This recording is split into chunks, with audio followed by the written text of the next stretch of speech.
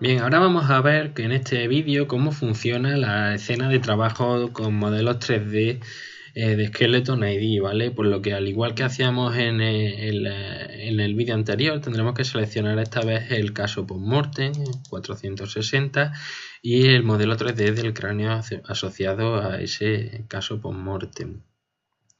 Bien, nos lo va a cargar en, la pantalla, en el visualizador de Skeleton ID y veis como ya nos aparece el modelo 3D del cráneo en la pantalla, ¿vale? Los controles para manejarnos en esta pantalla serán pulsando, eh, manteniendo pulsado el botón izquierdo del ratón, podremos eh, rotar el cráneo libremente, ¿vale? Si mantenemos pulsada la rueda del ratón podremos desplazar el cráneo, trasladarlo a través de la pantalla y girando la rueda hacia arriba o hacia abajo podremos hacer zoom en el cráneo, ¿vale? Por defecto esta va a ser la, pantalla de, cámara libre de la escena de trabajo 3D, ¿vale?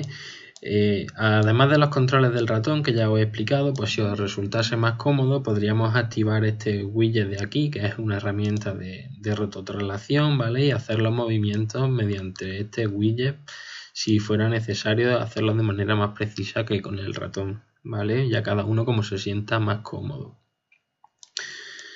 Bien, lo primero que tendremos que hacer en esta escena va a ser marcar el plano de Frankfurt, ya que todas las definiciones de los puntos craniométricos eh, se hacen sobre el cráneo colocado en, en plano de Frankfurt, ¿no?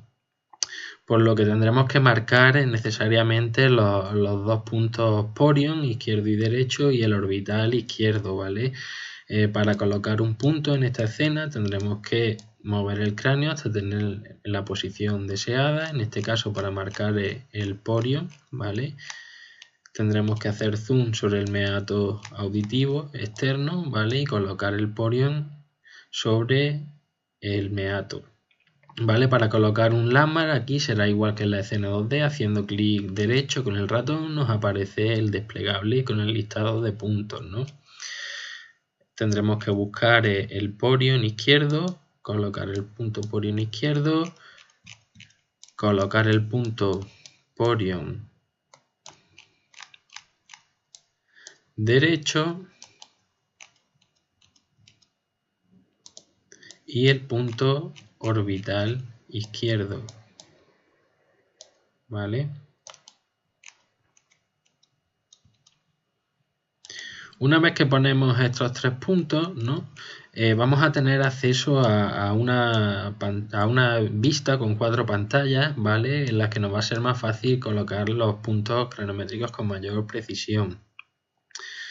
Bien, si os fijáis ya me ha aparecido aquí una serie de opciones que antes no estaban disponibles, que es el cambio a vista de cuatro cámaras y el eh, ocultar o desplegar la rejilla del plano de Frankfurt, ¿no? Si ahora nos vamos a la opción de, cuatro cámaras, como veis nos aparece el cráneo ya en cuatro pantallas distintas en las distintas vistas o normas craneales. Podremos eh, cambiarlas en función del punto que queramos colocar ¿vale? Y en estas pantallas podremos trasladar el cráneo, ¿vale? Podremos hacer zoom, pero no podremos rotarlo, ¿vale? Para ello tendremos que utilizar esta cuarta vista, que será el modo de cámara libre que veíamos anteriormente. Bien, a la hora de colocar un punto en esta vista, vamos a, enseñaros cómo hacerlo, ¿vale? Tendríamos que hacer zoom sobre la zona en la que queramos colocar el punto. En este caso voy a enseñar eh, cómo se trabaja con, varias vistas a la vez en esta escena. ¿no? Yo querría colocar la, la glabela, la buscaría en, la lista, ¿vale? Y veis que ya nos aparece también en la intersección de, de estas líneas auxiliares vertical y horizontal, ¿vale? Estas líneas se van a poder desplazar igual que hacíamos antes, haciendo clic izquierdo sobre la línea. A la vez que desplazamos la línea, vamos a ir desplazando el punto craniométrico. Bien, estas líneas en este caso no van a poder atravesar la superficie del modelo 3D, por lo que nos van a ser de gran utilidad a la hora de intentar determinar el punto más anterior o el punto más posterior de una estructura anatómica, ¿no? según la definición del punto. En este caso, pues para colocar la vela, para que veáis cómo interactúo con la, con la vista frontal y la vista lateral a la vez, eh, colocaría en vista lateral, eh, refinaría la línea vertical hasta que hiciera contacto con la superficie del modelo 3D, con el punto más anterior, ¿vale? De la superficie del modelo 3D sobre eh, el anillo supraorbital. Y ahora en la vista frontal podría ajustar el punto al plano medio sagital, ¿vale?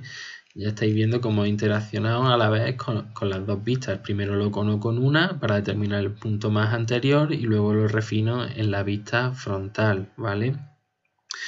Eh, en este caso también podríamos modificar el, tamaño del punto con el slide que tenemos aquí y también nos aparecerán cada uno de los puntos en este listado y las coordenadas en el eje X, Y y Z, ¿vale? En este caso tenemos también la opción de, mostrar los, vectores que corresponden a, la dirección del tejido blando, ¿no? Para indicar en, en, qué dirección se encontraría el punto cefalométrico homólogo al punto craniométrico. ¿Vale? Estos vectores podremos refinarlos de manera manual. Si os fijáis, el vector, la dirección que aparece por defecto es la normal a la superficie del modelo 3D y nosotros tendremos que hacer clic derecho sobre el vector y ajustarlo a la posición, ¿vale?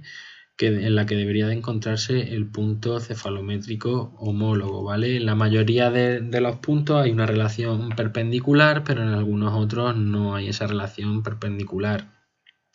Eh, todo esto lo podéis encontrar en los tutoriales de, en el tutorial de resolución de un caso paso a paso cómo colocar los vectores de cada uno de los puntos que vamos a utilizar.